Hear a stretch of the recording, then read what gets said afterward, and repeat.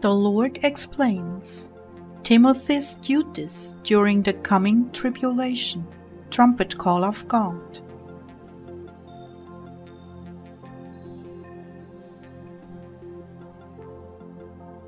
August 1st, 2004. From the Lord our God and Savior. The word of the Lord spoken to Timothy, for Timothy and for all those who have ears to hear. Thus says the Lord to his servant The Lord God has spoken to you many times, yet you have not listened. This I say to you once again, so you may hear and understand. Chosen are you of men, and of men have I chosen you. Though you doubt, this fact does not change, for even whatsoever I think comes to pass.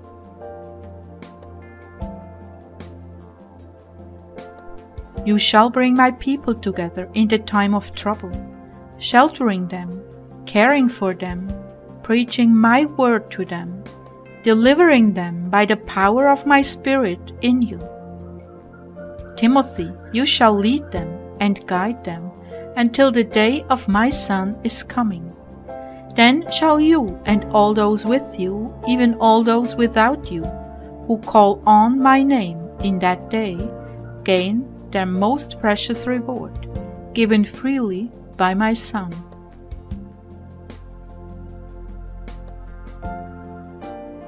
Timothy's answer How can this be? I am but a common man who has committed much sin. I am not worthy.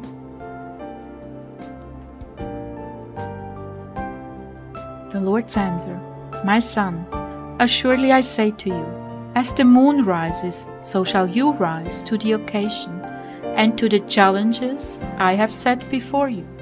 For your strength is in the Lord. The Holy One is with you. You cannot fail, for I'm your rear guard. Also do my angels go before you. The word of God shall be in your mouth, and in your mouth will I put my words, says the Lord who speaks to you.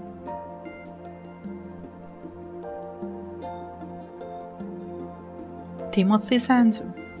But only you, Jesus, can fight evil with the sound of your mouth. I am but a man of no consequence. Thus says the Lord Yahushua to his well beloved If I put the words in your mouth and cause you to speak them, are not the words I've given you the words of the Father? And do they not carry his power? If he so chooses? Did he not give unto Moses a staff, through which his power was shown? Has he not made you that much better than a man's walking stick?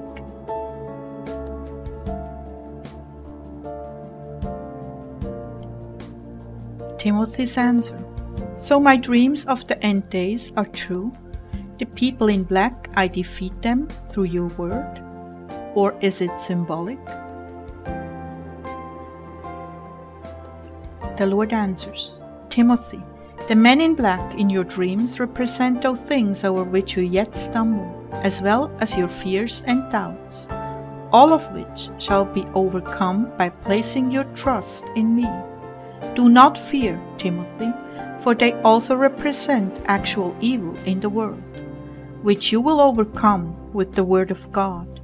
In that day I will sanctify you and anoint your head with oil, and you will become a witness for my name.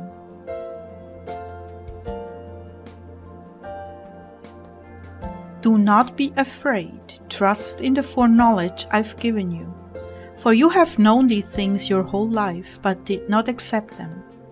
From the beginning did I choose you, before you came forth from your mother's womb did I set you apart for my purpose? Did you not recognize the signs?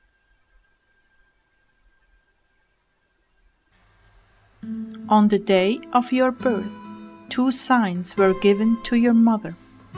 One, a dream of a bright star among many lesser stars, and also a visit from the angel Gabriel, unto which it was appointed to reveal the name chosen for you by God, the name Timothy, which you know its meaning, and honor him you will, says the Lord your Redeemer.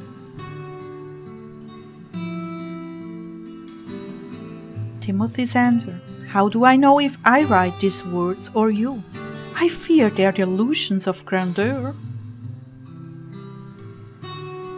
Thus says the Lord Why would a man write of himself his two biggest fears?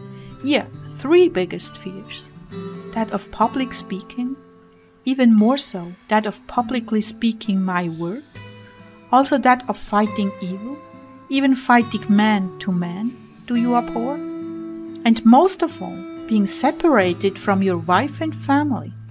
I know the depth of your love for them, only surpassed by your love for me. Why write about yourself those things you most fear and abhor?